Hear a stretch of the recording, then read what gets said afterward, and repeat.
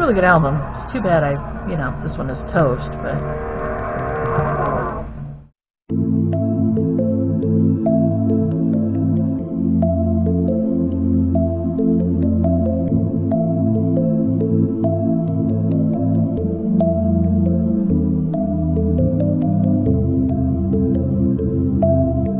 belt was running a little funny and um, we're trying to um, see why. So I'm going to open it up. So I'm going to set the camera up and open that up. I've unplugged it. Make sure you always unplug things um, before you start working on them. So that's unplugged. Um, I there's an on and off switch when you insert the tape. I inserted the tape just to make sure that all the power was out of the system inside, supposedly. And since nothing lit up and nothing moved, we're going to assume that she's dead. So let's party and get this thing opened up. Couple things going for it. It's an old Panasonic. I read the back here. This is the model serial. There's a screw. We'll start with that. We'll get this back kind of look popped off. I suspect uh, that these are just feet and that the uh, actual getting into it portion of our program is going to be from the back. So let me grab a screwdriver. Let's start by taking this screw out of here. There we go. There's that guy. Set that aside. Screw down where I can get to it. You know what? These do secure it, so that's good. I mean, it's kind of got to be something holding that stupid tray in. Um, you can't see much from right now, but this is secured to the chassis. This is actually a press board, so it's wood, or I guess you call it simulated wood. Pretty much it's contact paper on top of press board, but for the time, it was a cheap alternative to real wood.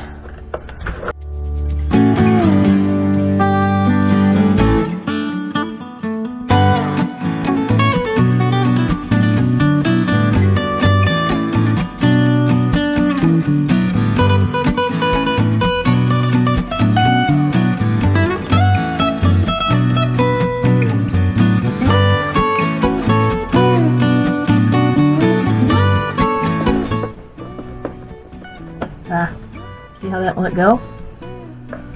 To finish that up. The case is now let go. This came out way farther than the other one did.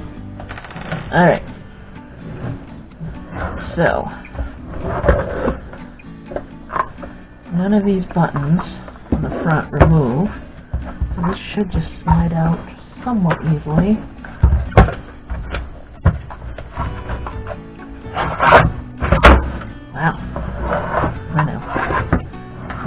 There you go. Belt down here, and it's flat belt. So, eeh, I see creatures. And stuff. Hopefully, if anything walks or crawls away, please scream very loudly so I can hear you. Okay. Motor. We should call it a flywheel. So basically, this turns this enough torque on it to move the tape head. Just it in there. Move the roller and pulls it past this head, I should say. Right here. And then there's the... It moves them down along the track. Uh, there's the sensor. Right here is the sensor for when the tape's in, so it turns on the power. And that's about it. It's pretty simple. I mean, you know, the electronics, the, the sound and stuff. Lighting is up in the front part here. You can't really see it that well. This button is for program changes, and that moves that switch right there. This switch. This one is a repeat program button, so it'll just play, um, it'll either repeat the track that you're on, or if you leave it out, it'll continuously play through. The belt isn't bad. Be tighter. I am going to peel it off here real quick just to see. I might try getting some reconditioner on it. Possibly needs replacement. The problem is, this belt um, is probably, I don't have one like this, so I'd have to order it, and that would probably, that could run anywhere up to 12 bucks or better. 5 to 12 maybe, uh, depending, I can look it up, but that's going to be, you know, I guess it depends on if this is worth fixing or not, so I'll do a little comparison shopping and see what I can come up with. Best to use alcohol on uh, heads. Uh, denatured alcohol is the best stuff for that.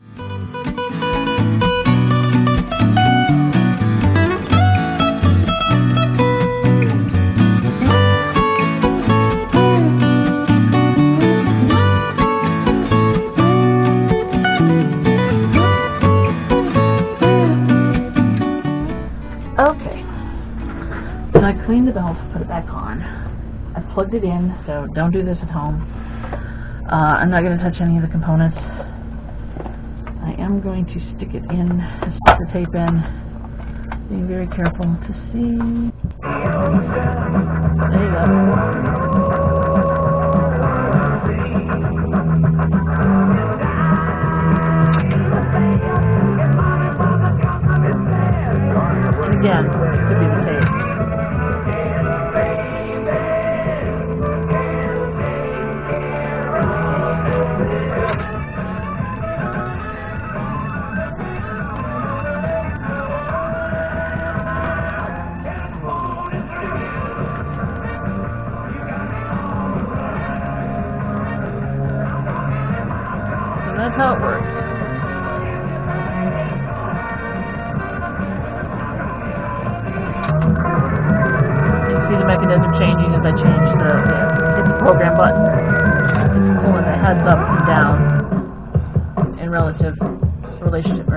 Relationship to this.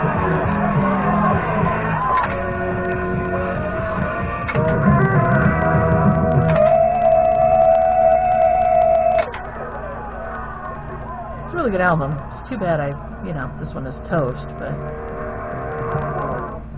it seems to be working pretty good, minus the really crappy condition of this tape, so I think we're good. Cleaning the belt helped, cleaning some of the connections and heads on it helped.